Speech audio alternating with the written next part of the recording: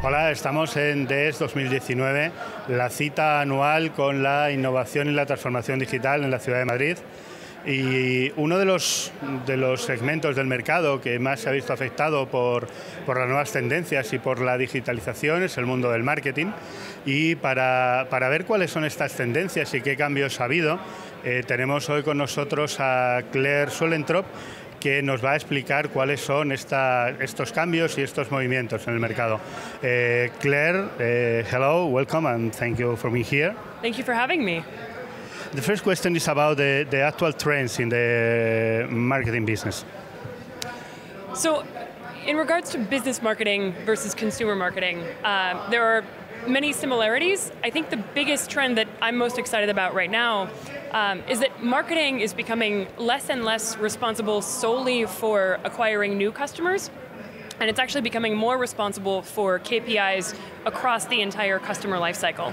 Uh, and the reason for this is that with the move to digital, customers are more empowered than they've ever been before to be able to drive the buying process themselves. They can search, they can use review sites, they the uh, the business model switch um, from uh, the business model switch to subscription makes it easier and easier for a customer to leave a software solution or, or, a, or a business solution when they're not happy.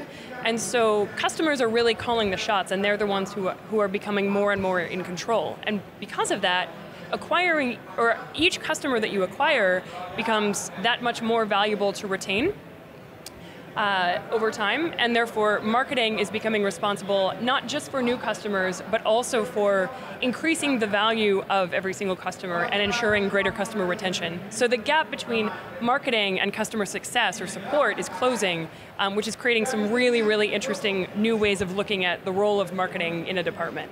Mm -hmm. What kind of uh, new scenarios is open now with the digitalization of the, of the marketing? I think the biggest one is that we can measure more than we have ever been able to before with the move into digital. Uh, this is both a good thing because we can get much more intelligent about what we do with our marketing dollars. Uh, so, for example, in the past, when we might have known that attending a trade show or, or sponsoring um, purchasing a booth at a trade show, we knew that it would generally lead to revenue. We can now track exactly how exactly what kind of revenue we drove from it, um, and whether it's worth investing in again or not. So we can make much better decisions about where to spend our marketing dollars. What makes, uh, the, I think the downside to this though is that it's also very hard to stay focused because we can measure so many things. Um, many times marketing decision makers will struggle to identify what is the appropriate KPI we should be focusing on. Um, so it's important not to get too overwhelmed with the amount of data that can be collected um, in this move to the digital world. Should we different the, the marketing oriented to uh, business to the marketing oriented to people, to users? Mm, that's a good question. I think at the very core, what they have in common, both both consumer marketing and also marketing to business decision makers, at the at the core, both, in both cases, you're marketing to a person, right? You're marketing to a person who has emotions, who has other things going on in their life, and so whichever whichever type of buyer you're marketing to, it's really important to remember that at the core of your strategy, you need to understand how that person makes their decisions.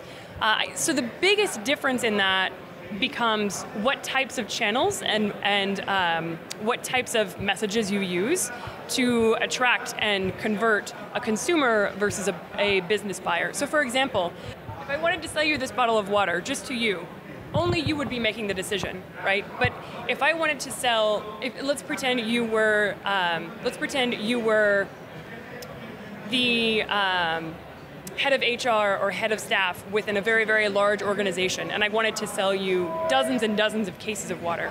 The decision process you would then make would be entirely different. You'd have to go through finance, you'd have to go through, through compliance, um, and so my marketing strategy there would need to be much more complicated to meet the needs of all of the buyers within that process. So at the end of the day, they're both consumer marketing and business marketing. They're both about understanding how the person makes decisions, but in business marketing, you need to account for many, many more decision makers than in consumer marketing. Um, one last question is about this show. What do you think about this 2019? It's been fantastic. I, it's my first day here, so there's still lots to do and lots to see, but it's the most comprehensive. Uh, it is absolutely the most comprehensive event I've ever attended um, in regards to all things digital. So it's really been a good experience. Thank you for your time and enjoy the rest of the show. Absolutely.